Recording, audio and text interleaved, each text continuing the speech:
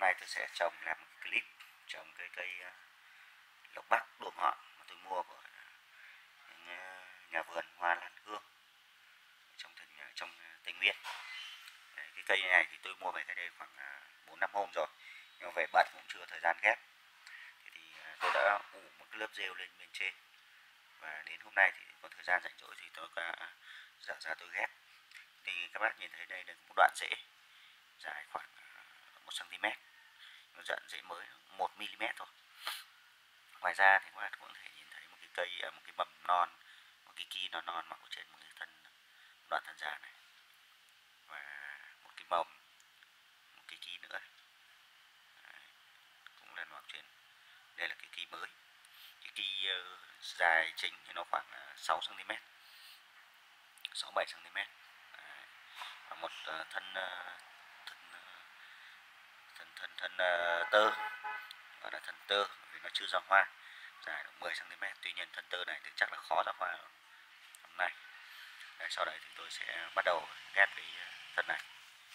Vào chậu chậu này thì tôi đã chuẩn bị uh, sẵn là vỏ dưới này là tôi lót uh, xốp và vỏ thông bên trên phủ một lớp rêu để cho nó giữ ẩm. Và ngoài ra tôi chuẩn bị một cái cây uh, đoạn tre tôi uh, đẹp nó lại. À, đoạn tre tôi đẹp nó lại.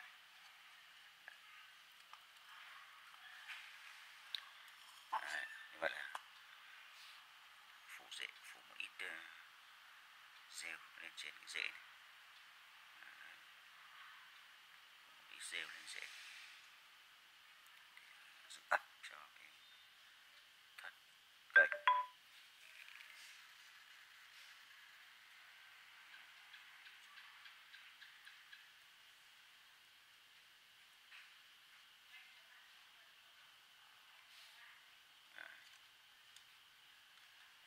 đơn giản.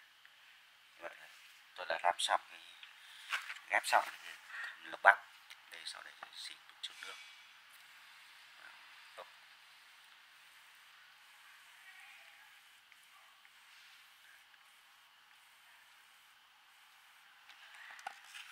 Vậy à, tôi đã trồng xong rất đơn giản là ghép xong cái, cái cây à,